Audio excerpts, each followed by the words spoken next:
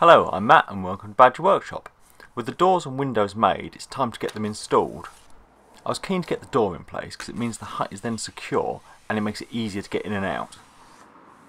The breathable membrane is very easy to cut just with a Stanley knife. Some jobs it doesn't matter if you finish by the end of the day. This is not one of them. I do not want the weather to be able to get in or any drunk person from a pub car park. The flashing tape goes around all the sides. It's best to start at the bottom and then work your way up, and then all the seams overlap the one below.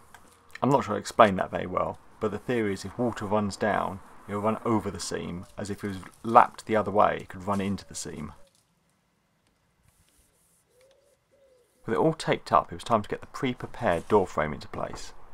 I might have mentioned this a few times already, but this is another one of those occasions that another pair of hands would have been very handy. Some clamps did the trick to hold it in place until I could get some screws in. It was tricky to hold the door up, but at least I didn't have to worry about alignment as I'd already got the holes for the screws to go into. So let's get the door handle in place, and that was the door done.